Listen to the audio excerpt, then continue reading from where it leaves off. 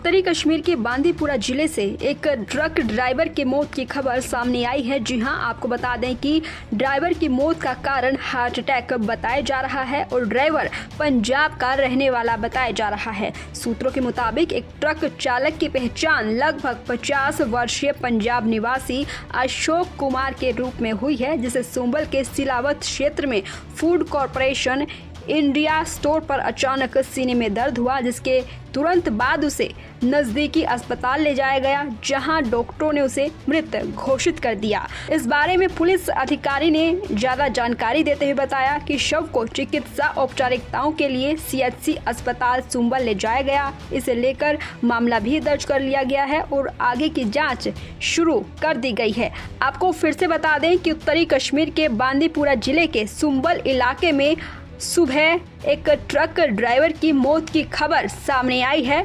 बता दें कि ट्रक ड्राइवर की मौत दिल का दौरा पड़ने से हुई है और ये ट्रक ड्राइवर पंजाब का रहने वाला बताया जा रहा है। उत्तरी कश्मीर के बांदीपुरा ज़िले से एक ट्रक ड्राइवर की मौत की खबर सामने आई है। जी हाँ, आपको बता दें कि ड्राइवर की मौत का कारण हार्ट अटैक बताया जा रहा है और ड्राइवर पंजाब का रहने वाला बताया जा रहा है। सूत्रों के मुताबिक, एक ट्रक चालक की पहचान लगभग 50 वर्षीय पंजाब निवासी अशोक कुमार के रूप में हुई है, जिसे सुंबल के सिलावत क्षेत्र में फ़ूड कॉरपोरेशन इंडिया स्टोर पर अचानक सीने में दर्द हुआ, जिसके तुरंत बाद उसे नजदीकी अस्पताल ले जाया गया, जहाँ डॉक्टरों ने उसे मृत घोषित कर दिया। इस बारे में पुलिस अधिकारी ने ज़्यादा जानकारी देते हुए बताया कि शव को चिकित्सा औपचारिकताओं के लिए सीएचसी अस्पताल सुम्बल ले जाया गया। इसे लेकर मामला भी दर्ज कर लिया गया है और आगे की जाँच शुरू कर दी गई है। आपको फिर से बता दें की उत्तरी कश्मीर के बांदीपुरा ज़िले के सुम्बल इलाके में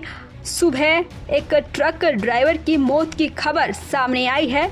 बता दें कि ट्रक ड्राइवर की मौत दिल का दौरा पड़ने से हुई है और ये ट्रक ड्राइवर पंजाब का रहने वाला बताया जा रहा है। उत्तरी कश्मीर के बांदीपुरा ज़िले से एक ट्रक ड्राइवर की मौत की खबर सामने आई है। जी हाँ, आपको बता दें कि ड्राइवर की मौत का कारण हार्ट अटैक बताया जा रहा है और ड्राइवर पंजाब का रहने वाला बताया जा रहा है। सूत्रों के मुताबिक, एक ट्रक चालक की पहचान लगभग 50 वर्षीय पंजाब निवासी अशोक कुमार के रूप में हुई है, जिसे सुंबल के सिलावत क्षेत्र में फ़ूड कॉरपोरेशन इंडिया स्टोर पर अचानक सीने में दर्द हुआ, जिसके तुरंत बाद उसे नजदीकी अस्पताल ले जाया गया, जहाँ डॉक्टरों ने उसे मृत घोषित कर दिया। इस बारे में पुलिस अधिकारी ने ज़्यादा जानकारी देते हुए बताया कि शव को चिकित्सा औपचारिकताओं के लिए सीएचसी अस्पताल सुम्बल ले जाया गया। इसे लेकर मामला भी दर्ज कर लिया गया है और आगे की जाँच शुरू कर दी गई है।